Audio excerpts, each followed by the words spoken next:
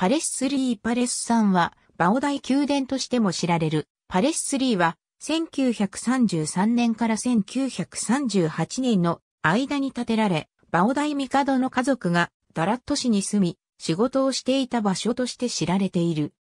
パレス3は、ポール・ベセールとアースル・クルーズという二人のフランスの建築家によって設計された中庭パレスさんはヨーロッパ建築の影響を大きく受けており、2階建ての宮殿となっているバオダイ帝には資産家のグエン・フーハオの息子である南薫皇后の正式な妻がいる。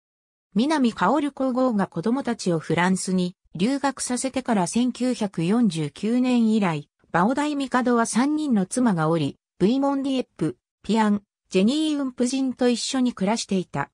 バオダイ帝が亡命生活のためにフランスに移った後、ゴディンディエム政府が高級リゾートとして使用し、後にグエンバンチューが使用した。ベトナム戦争が終わった後、パレスさんはラムドン諸島委員会の財務委員会に属し、2000年半ばから管理するためにスワンフォン観光サービス会社に割り当てられた。パレスさんは独特なヨーロッパ建築としての価値に加え、笛王宮の骨董品なども保存されている。宮殿の地下には地下のワインセラー備わっている。他には、バオダイ帝が狩猟した虎や象の皮、